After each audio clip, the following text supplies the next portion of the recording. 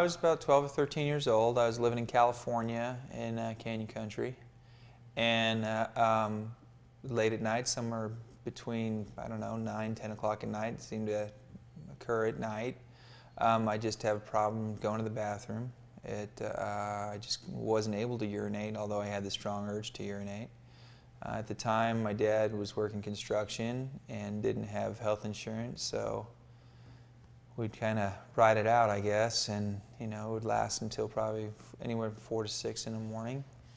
Once I was able to uh, urinate again, you know, we incorrectly would assume that whatever the problem was was over, and then we'd press on. We did go see a, um, a pediatrician, but he was unsure what it was and thought maybe it was more of a uh, um, like a bladder infection or something like that. So he'd give me pills for that, and uh, obviously, you know, by then it was already it had already passed. So we assumed that that's what it was. Um, well, as I got a little bit older, um, probably when I was about 17 or 18, uh, I it got really bad and I couldn't handle the pain anymore. So uh, we actually went to uh, the hospital. Um, and went to the emergency room probably about 10 or 11 o'clock at night. And uh, uh, at that time, they were unsure what it was. They just knew I couldn't urinate, so they they catheterized me. And uh, obviously, that was able to clear the bladder, clear the immediate pain.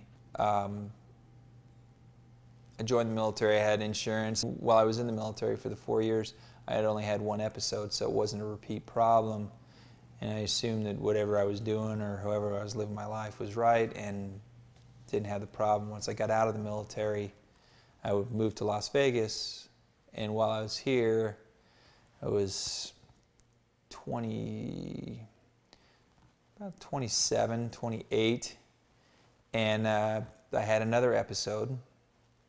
And at that time, the ER doctor uh, told me, you know what, I, you're a little bit young for it, but I think that you might have a stricture. And that was the first time that I'd ever had a doctor tell me that. I went to a urologist here in, in town, and uh, he basically said that the ER doctor didn't know what he was talking about.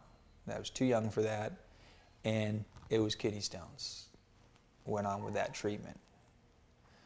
That same year, or actually about a year later, uh, I went down to California, I was about 29 at the time, and I ended up back in the original ER that I'd been in before. At that time, uh, I went in and uh, the ER doctor was like, you know what, this is very unusual, and he called in a urologist.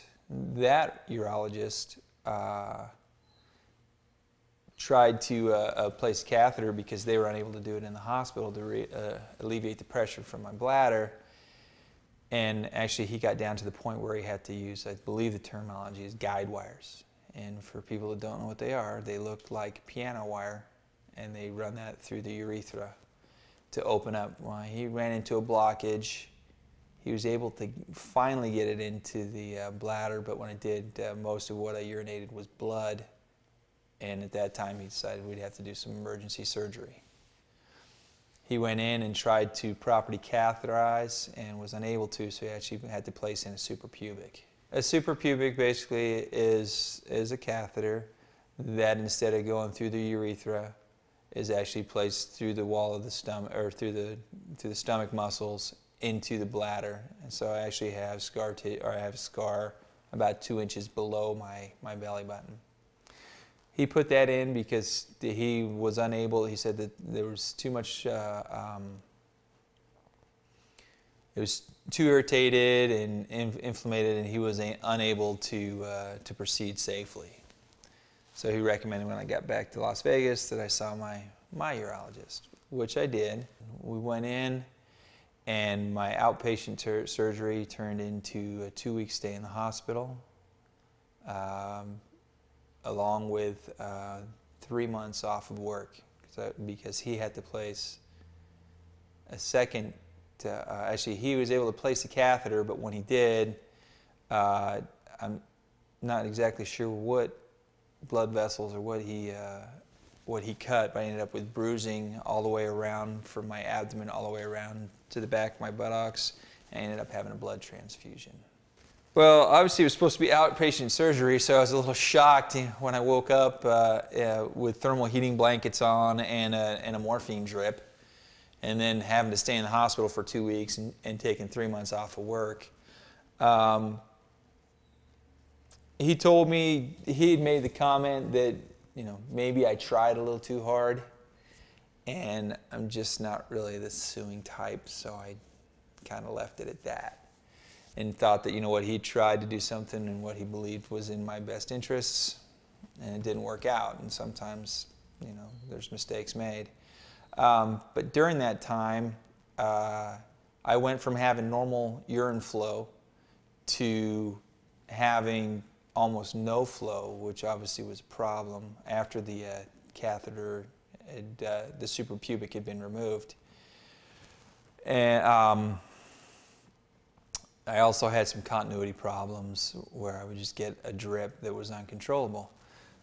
So, not making the best medical decision I've ever made, I went back to him and he and explained my problems and he decided to place a stent which the stent option is not from my understanding and I'm talking to other urologists the, the stent option was not an incorrect option but a lot of urologists don't have other options like reconstructive surgery, like Dr. Gelman.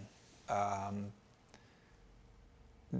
the, so the, right now, the standard practice, instead of repairing the damage, is just to put basically a patch over it. The stent, I've seen it in uh, X-rays, and it basically looks like a slinky. They place in a piece of, I believe it's titanium, some kind of surgical grade titanium.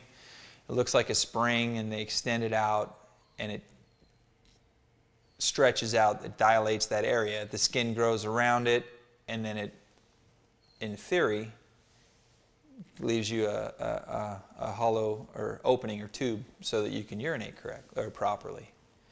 However, the, uh, the injury that I had or the, the stricture that I had was pretty aggressive and it actually started uh, growing through the stent itself to the point that I'd have to have dilation.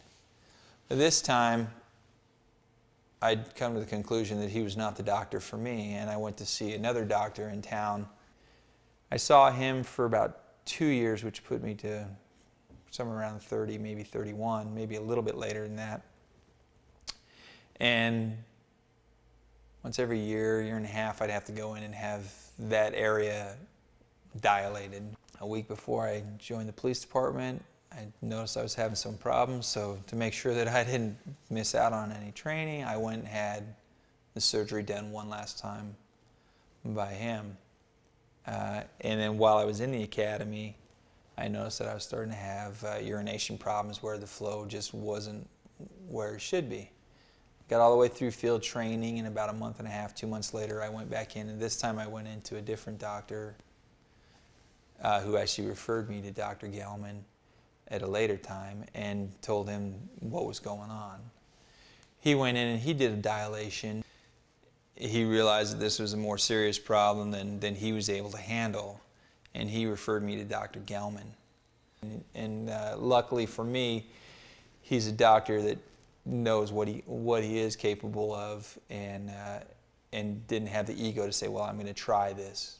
He referred me to uh, Dr. Gelman. When I, when I originally when, when, my, when my urologist originally uh, told me that I was going to have to go see a specialist, he made the comment that, that there's very few people that are even capable of doing this surgery. If I remember correctly, he made the comment there were two on the two on the, the west coast, Dr. Gelman and another doctor who I can't remember his name, one or two back east, and then maybe one or two overseas. So maybe five or six people in the world that could do the surgery that, that Dr. Gelman's capable of doing. Uh, I obviously I didn't want to just you know, go to one surgeon and, and not have any other input, so I called Dr. Gelman and I called another gentleman. The, the doctor was unable to make contact with, uh, didn't call back. Dr. Gelman's office immediately called back they were very helpful uh, with explaining the procedures to my wife who works in the medical field and, uh, and working with us in explaining the process that we'd go through. After talking to him, I actually went down to his office and I met with him probably about two weeks later. And that's when we started with the initial consultation. And during that consultation, uh, Dr. Gelman spent about an hour, hour and a half explaining the procedure, showing me um, showing me other successful examples that he that he had um, uh, through X-ray before and after pictures uh, of uh, urethras, so that he not only could he show me where my damage was, he was able to show me what a, a normal functioning urethra looked like uh, under X-ray. He was also able to show me uh, people that had extensive damage and repairs and what the surgery looked like, what that what the uh, reconstructed urethra looked like after the surgery. Uh, we went in, we did x-rays. Dr. Gelman does his own x-rays. Uh, obviously, he has an x-ray technician there, but he does all the procedure with you. He doesn't just hand you off to a tech. Uh, so that you know you can further ask more questions and to make sure that it, it's done correct, correctly. Um, after we after we uh, did the initial consultation, he showed me the damage to my own urethra and what his expectations were. Like I said, he said that it was going to be extremely difficult due to close proximity of the original stent, but he was confident that he could he could uh, um, reconstruct successfully reconstruct and replace the the damaged uh, urethra. So I decided to go through with reconstructive surgery, which is probably the best decision I've made in my life. Uh, Dr. Gelman explained that it was going to be a long surgery. It took eight hours. When I was done, I was, uh, he told me I had to have a minimum of five days bed rest where I wasn't uh, able to move or able to uh, uh, move around. So uh, when I woke up, there was no pain. I had had no blood transfusion. Uh, during my five day stay at the hospital, I took one Valium. I had no pain, uh, everything healed up nicely, and I haven't had any more problems with uh, um, urination uh, stoppage or anything like that. Since then, I have had to have um, kidney stones removed. I've passed several kidney stones, and I've actually had to have two surgically removed during that time, um, my my doctor here has obviously made comment about the uh, about the surgery, about the reconstructive surgery that Dr. Gelman did, and he, he says there's no signs of stricture, there's no signs of closure, uh, there's no signs of weakness in the areas that uh, um, that the surgery had taken place or at any of the connections between you know uh, the connection points between my original urethra and, and the reconstructed area. And very pleased with it.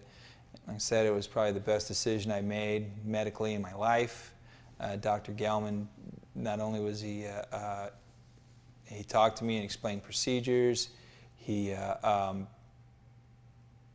had very, a very gentle touch in surgery is probably the only way that I can explain it. I've never been into surgery and come out where I've needed no pain medications and like said, the only pain that I had, or, or, discomfort, not even real pain, was in my mouth where they used uh, the lining of the mouth to reconstruct the urethra. After surgery, we uh, um, he made sure you know he followed up. I came back several times to make sure that everything was in place. Um, I would definitely say, in comparison to the other level of, of the doctors, not to put down the urologists that are out there. They've been trained in, in a procedure, and that's the way they go. The, the, um, the key is to have yourself a good urologist that understands his limits and understands that, that the stent, in my personal opinion as a patient, is old school. The reconstruction is far superior technology, it's far superior science, and in comparison, it's night and day. It would be like a miracle compared to where I was to where I am right now. You know, I was able to have a child. I was, you know, I'm able to urinate when I have to lead a normal life. Where before I was going to the hospital every two or three months. Don't know if I'd have been able to have a child. So, yeah. Dr. Gelman is a miracle worker.